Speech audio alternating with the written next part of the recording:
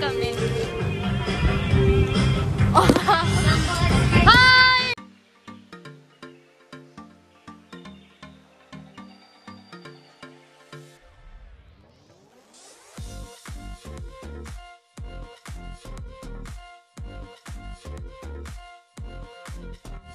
John Lloyd Cruz, spotted sa Boracay na may kasamang babae.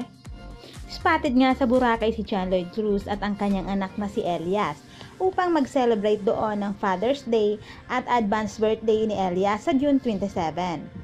Marami ang naantig sa isang video na makikitang binigyan ng isang greeting card ni Elias si John Lloyd kung saan nakasulat ang Happy Father's Day Papa.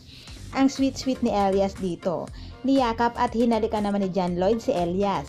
Ngunit ang nakatawag pansin sa mga netizens ay ang isang babaeng kumukuha ng video habang sila ay nagsasunbathing sa isang yate. Maganda ito kaya naman marami ang nagtatanong kung sino ang babaeng ito na kasama ng mag-ama. Baka ito na raw ang bagong girlfriend ni John Lloyd ngayon. Pero ayon sa ilang mga netizens na magkakasama sina John Lloyd Cruz at Maha Salvador sa Boracay, maaaring isa sa mga kasama ni Maha ang girl na kumukuha ng video. Wala namang masama kung magka-girlfriend na si John Lloyd Cruz dahil masaya na rin ngayon si Ellen Adarna sa piling ni Derek Ramsey. Para naman maging masaya na rin siya ngayon.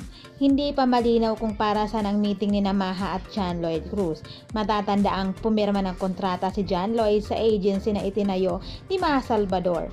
Kaya maaaring may kinalaman na rin ito sa isang proyekto. Narito ang ilang pang mga kaganapan sa Boracay sa mag-amang Elias at John Lloyd. Sunbathing kami. Oh. Hi! Hi, hi! Sakit eyes mo?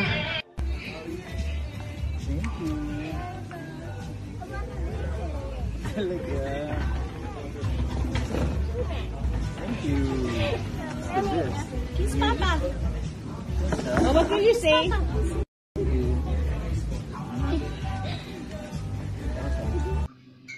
Yan lamang ang ating latest updates sa inyo lahat. Maraming salamat po sa inyong panonood. Please don't forget to subscribe, comment, like, and share.